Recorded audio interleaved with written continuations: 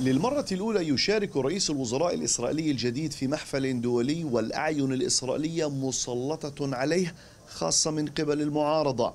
فما هي التهديدات والتحذيرات التي سيحملها نفتالي بنت للمجتمع الدولي خاصة فيما يتعلق بالملف النووي الإيراني الذي طالما كان سلفه نتنياهو يطرحه في اجتماعات الجمعية العامة محاولا تشكيل حلف دولي لوقف المشروع النووي الإيراني אנחנו לא מגדירים את עצמנו לפי אחרים.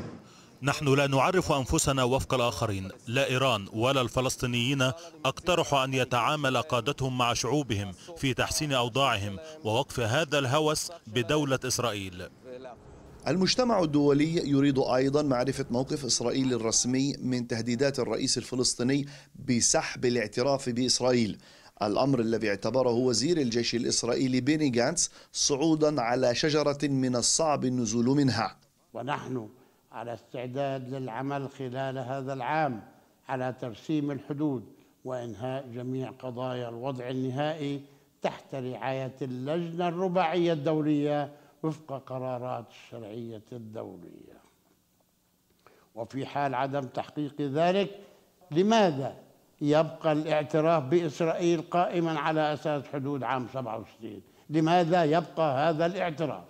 المراقبون في إسرائيل يؤكدون أن الحكومة الحالية لا تستطيع القيام بأي خطوات جدية في المسار السياسي لأنها قد تنهار في حال انسحب أي عضو كنيسة من الائتلاف الحاكم أي أنها غير مستقرة. بنت نفسه أعلن أنه غير معني بالاجتماع مع عباس وترك الأمر لوزير الجيش باعتبار العلاقة مع السلطة الفلسطينية أمنية واقتصادية بحتة ولن تكون سياسية.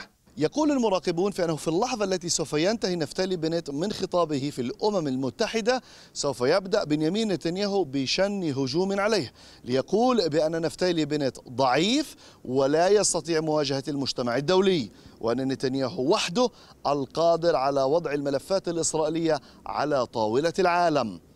أحمد البديري قناة الغد القدس المحتلة.